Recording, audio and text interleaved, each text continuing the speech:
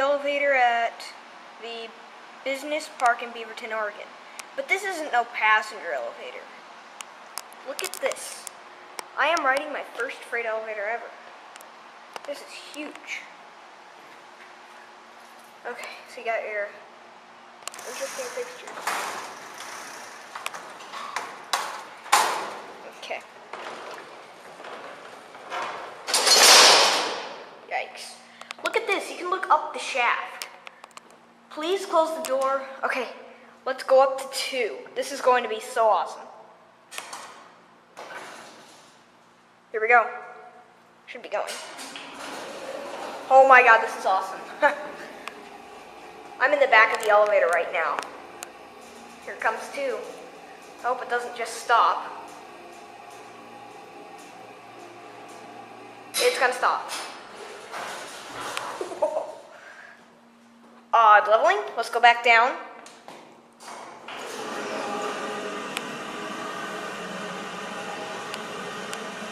Look at this. Oh my god, this is awesome. Oh my god, this shakes. Uh, it's gonna stop. Wow, this is one of the shakiest elevators I've ever rode.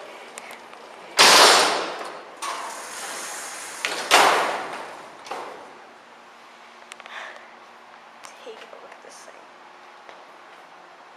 For some reason, this is one of the very first elevators where I cannot control my knee movement. And I guess for now, here's the man-powered elevator. I guess for now, that's it. And I'm not sure of the brand. It says like Sturm. I tried searching for this on YouTube. Never found it. Here's the light switch. The emergency light comes on. Then you got your emergency stop, which you can pull. The capacity on this is 4,000 pounds. I was expecting like 8,000. And there's the thing. That's it. This is going to be an impact cam. Actually, I guess on the uh, freight elevator. That's the door on two.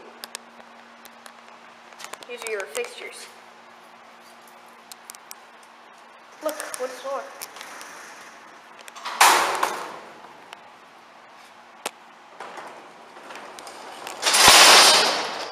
That scared me. Okay, now we're gonna place the camera on the floor. Hopefully you're seeing what I hope you're seeing. And we're gonna go up to two above the hard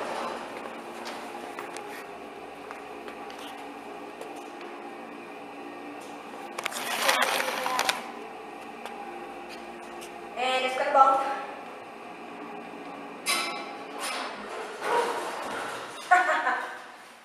now let's go back down to one.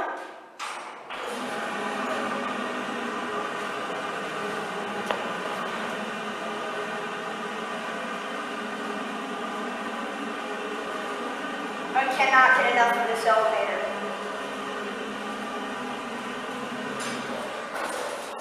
Okay, let's get camcorder. Wow. Look at how this inner door unlocks. And in here, there's a little switch uh, that says, I, th- I think it connects to the shaft like, but it doesn't work. Oh my gosh. This stuff is all greasy. this is huge. And for only 4,000 pounds?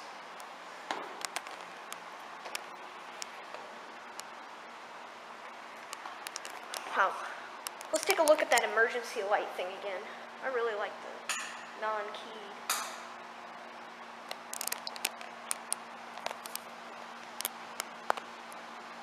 Wow.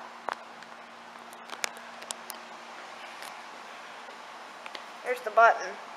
That is the key switch to lock it off, I think. So I guess for now, that's it.